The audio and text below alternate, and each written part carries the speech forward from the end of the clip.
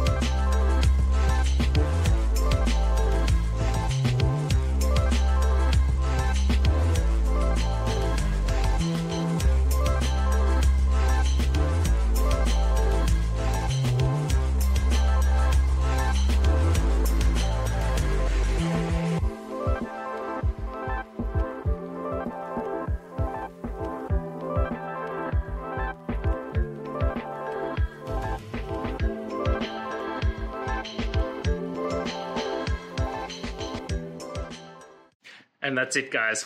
I hope this video helped find that resolution you're looking for. If it did, please hit subscribe. I'd really appreciate it. And until next time, I hope you have a good one.